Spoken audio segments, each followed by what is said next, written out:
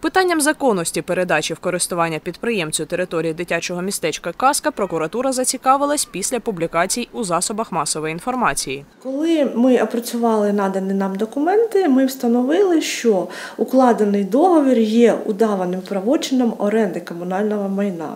Е, Тому цей договор мав укладатись з дотриманням вимог закону про оренду державного та комунального майна через електронну торгову систему. Е, Крім того, розмір орендної плати мав би визначатись, виходячи з балансової вартості об'єкта, та міг становити майже 3 мільйона гривень на рік. Рішення суд оголосив усно. Підстави для його оскарження є, говорить адвокат підприємця Олександра Скрипіна, чиї атракціони розташовані на території дитячого містечка Каска. Поки що сказати важко.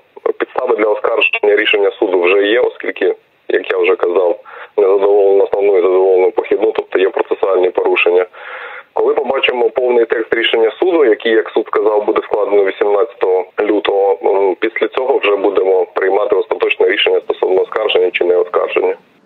Суд відмовив у визнанні недійсним результатів конкурсу, під час якого обирали підприємця, що господарюватиме на території дитячого містечка Каска. Тому у фізичної особи підприємця Олександра Скрипіна є підстави для укладання нового договору на тих самих умовах. Це передбачає положення про конкурс, яке 2019 року було затверджено виконкомом міської ради. Основна позовна вимога щодо скасування рішення конкурсної комісії була відхилена, однак задоволена в частині похідної вимоги щодо визнання недійсним договору. Слід зазначити, що вся ця процедура вона відбувалася згідно положення про конкурсний відбор, який є чинним, ніким не оскаржувалось і є діючим. Щодо рішення конкурсної комісії, яка осталася в силі, воно визначило основний перелік умов щодо 12 зон, на яких виникає право провадити господарську діяльність, щодо встановленої плати і щодо строку, на який майбутній договір мав е, укладатися. Конкурс проведено без зауважень на думку суду. Тому, якщо треба буде, укладатимуть новий договір із фізичною особою підприємцем Олександром Скрипіним, говорить начальник управління культури Миколаївської міської ради Юрій Любаров.